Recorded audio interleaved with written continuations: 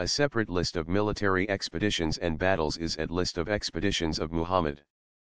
Ali ibn Abi Talib considered the first male Muslim convert to Islam by many early Muslim scholars.